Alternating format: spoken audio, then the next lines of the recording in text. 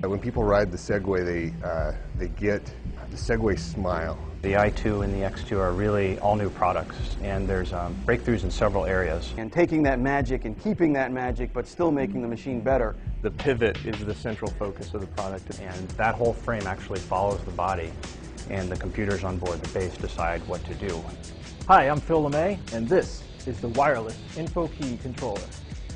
It's IEEE 802.15.4. There's a continuous flow of information both from this device to the PT and back. Can I, can I talk to it? The face on our display on the original product uh, is something that gained a lot of appeal. If you see the green light in the center, it's ready to ride.